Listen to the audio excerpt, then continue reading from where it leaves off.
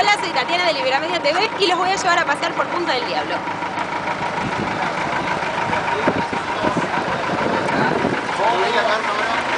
¿Y no la carpa roja la otra?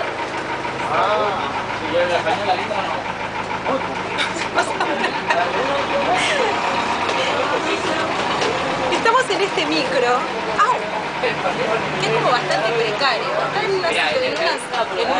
unas condiciones bastante particulares. Es el micro que lleva de el camping de Punta del Diablo a la playa. Tiene la frecuencia de una hora de un viaje cada hora, desde las 9 de la mañana hasta las 11 y media de la noche que te deja en el puerto.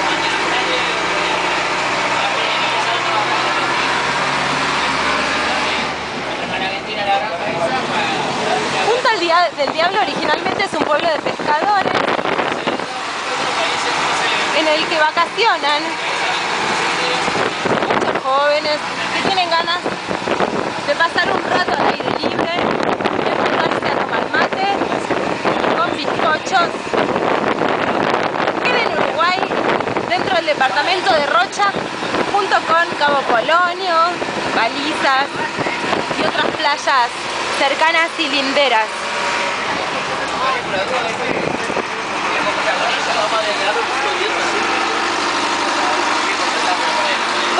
algo de, contanos algo de, de, de, Cabo- de, de Punta del Diablo. Punta del Diablo, a ver, ¿cómo te puedo contar? ¿Qué es lo típico de Punta del Diablo? Los bailes. Los bailes. Sí, los bailes eh, son muy lindos, la, la- la playa es preciosa, las, las mujeres que vienen también a Punta del Diablo son todas divinas, especialmente las de 33. Este, no, 33 añitos tiene, ¿verdad? Está, está la flor de la edad. Este, bueno,